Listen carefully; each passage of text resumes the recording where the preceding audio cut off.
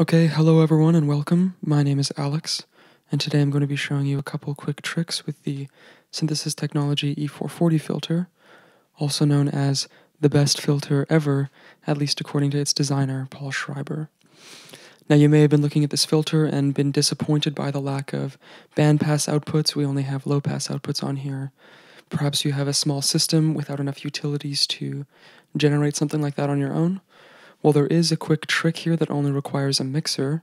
So Paul has cleverly phase shifted each of the outputs by 45 degrees, which means if we mix any two of the outputs at unity, um, we should achieve a bandpass filter. So I'm just going to show you quickly some audio. Here we have the Mangrove running into the E440, just monitoring the two-pole out. Classic low-pass sound. Now what we're going to do is we're going to patch the three pole out into links here.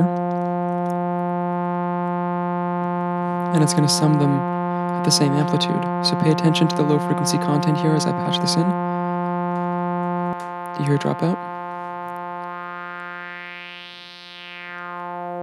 So clearly we have a bandpass at work now. And we can actually achieve a different slope result if we use a different output.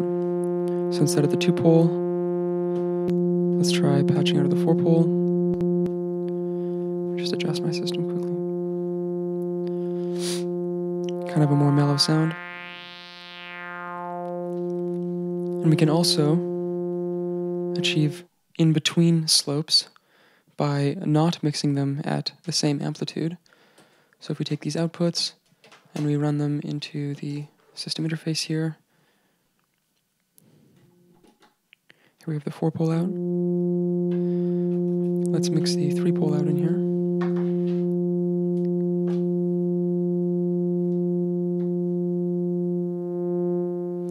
If we match them, we can get something like a band pass. But any change in amplitude will just result in an in-between slope. Now there is one final trick I want to show you and that is if you self oscillate the filter and tune it down to the sub audio range and use it as something of an LFO, because the outputs are phase shifted, it can act like something of a quadrature LFO. So I'll just take an output of Morphagene here.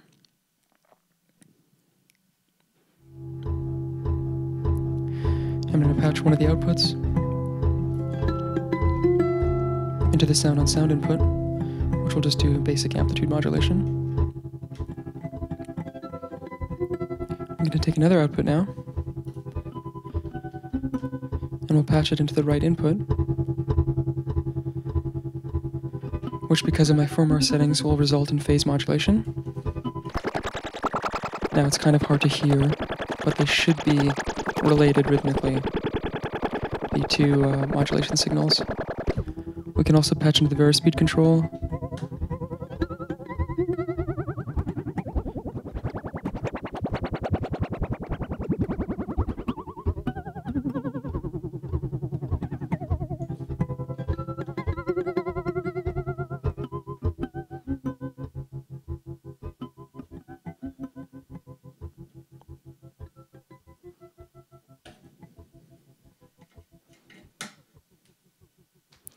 All right.